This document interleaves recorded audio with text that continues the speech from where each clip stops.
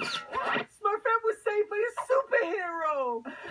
What's a superhero? What did you say? Smurfette shaved with a pillow? I heard there's a superhero in the village. What's that about?